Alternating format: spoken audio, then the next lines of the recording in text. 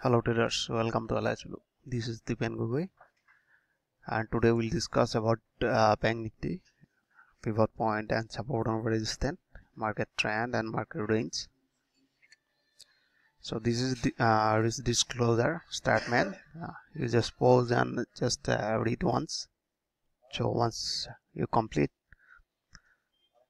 so we start and this is the Bank Nifty so today bank nifty point 25736 and the first uh, support 25771 second support 25805 and third 25840 uh, sorry resistant and the first support 25702 and the second support 25668 and the third 25633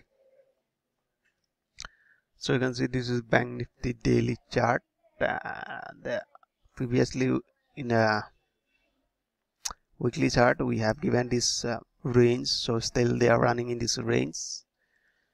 And if you see in the weekly so stochastic and the CCI are giving little more confirmation to it will go up. Uh, and the weekly this is the uptrend. You can see fully moving average is confirming that the market is still uptrend in a weekly chart. So if you daily chart if you see in daily chart in the daily chart uh, the stochastic uh, giving a little more confirmation uh, overbought zone. And CC also still running near 200 level.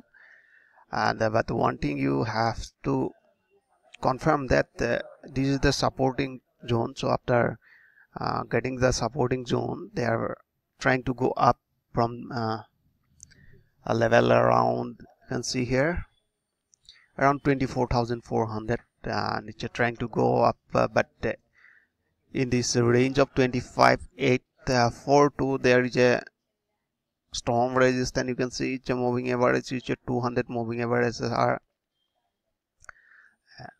it's placing a resistance line. So if once if a break so i hope it will go up to near previous higher point around 28,000 near right? So if you see in a four hour chart so four hour chart they are confirming a downtrend and a downtrend uh, but in this area they are confirming a upper like higher high. You can see this is a lower low here. Uh, it's a lower point. After that they break down the previous high and again came down. Market given little more retracement but not able to break the previous uh, low so they create a higher low so again they are trying to make a higher high but still they are not confirming they are not making any higher high here. So totally market is uh, sideways if you see in half an hour market.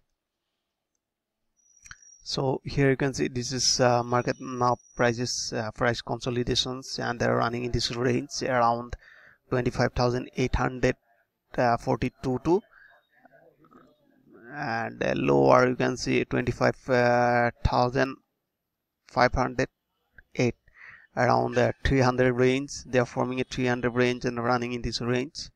So once uh, breakout around the 25,842 I think it will go up. But in half an hour you can see they are confirming virtually running in a uptrend. So if you see in a small time frame like a five minute so five minute uh, price is totally choppy. Here you can see.